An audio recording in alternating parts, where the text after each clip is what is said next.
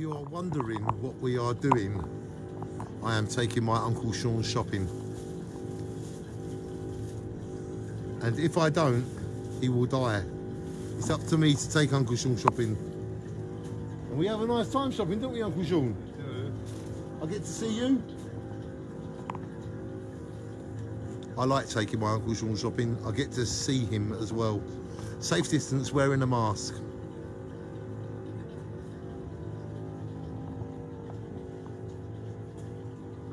And this is how we do it. We go around to shops, we get what Uncle Sean needs.